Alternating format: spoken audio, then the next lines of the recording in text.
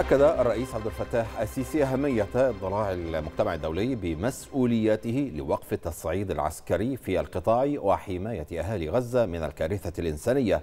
التي يتعرضون لها. وخلال اتصال هاتفي تلقاه من المستشار النمساوي كارل نيهامر حذر الرئيس السيسي من الخطورة البالغة لاستمرار التصعيد وتوسع نطاقه بما يهدد أمن واستقرار المنطقة. وأوضح المتحدث باسم رئاسة الجمهورية أن المستشار النمساوي حرص في مستهل الاتصال على تهنئة الرئيس السيسي لمناسبة حلول عيد الفطر المبارك وهو ما ثمنه الرئيس مؤكدا عمق العلاقات وامتداد الصداقة. ما بين مصر والنمسا. هذا وتناول الاتصال العلاقات الثنائية بين البلدين وسبل تعزيزها بما يخدم المصالح المشتركة للشعبين الصديقين في مختلف المجالات في, في إطار الشراكة الاستراتيجية بين مصر والاتحاد الأوروبي.